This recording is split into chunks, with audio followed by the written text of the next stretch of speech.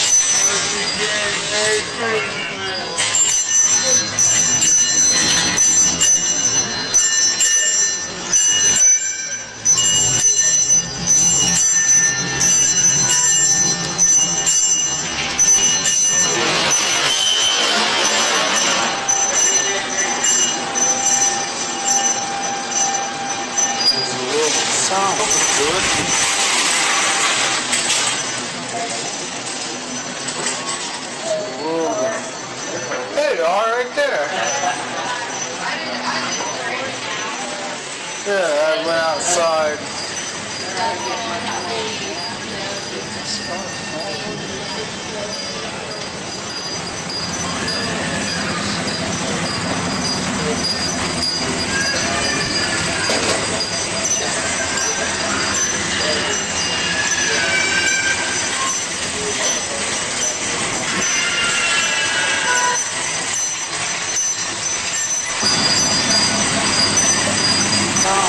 board.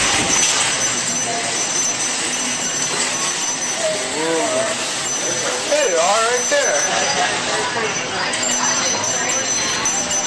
Yeah, I went outside.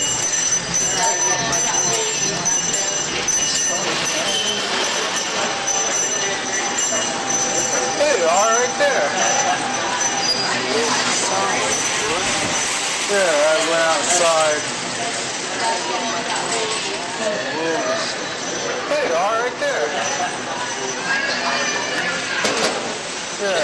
So.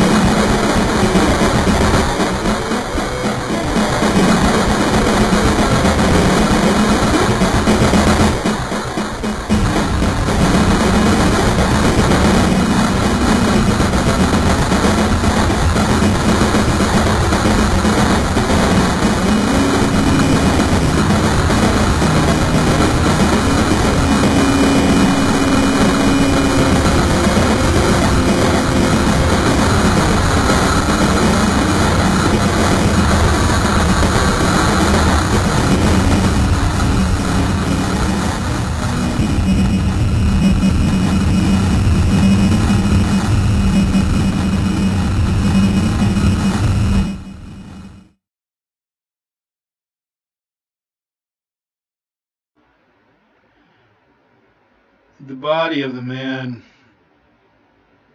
was lying on the couch drawing flies. Apparently, he had shaved the top of his head off with an errant pane of glass. How he had managed to do this, I wasn't quite certain. However, the whole thing terrified me as I was genuinely concerned that he would bound up in some sort of uh, seismic uh, contortion of his uh, atrophying uh, muscles and uh, appear as if he'd been reanimated or brought back from the dead. So I went to hide in the bedroom, and I was lolling around in bed with a rather large woman, speaking to her candidly about the dream that I had had the night before, wherein I was taken to a local club, which was an upstairs facility. I imagine it was an empty bar, and I was dressed entirely in the manner and costume of an SS officer. Most specifically, SS Obergruppenführer Heinrich Himmler, Henry the chicken farmer. I didn't want anyone to know that I was Heinrich Himmler. And when the Allies captured Himmler, Himmler didn't want anyone to know he was Himmler either. Therefore, I untucked my shirt, threw off my jacket, rumpled my pants, or did something similar, and generally made myself into a slovenly, sloppy mess.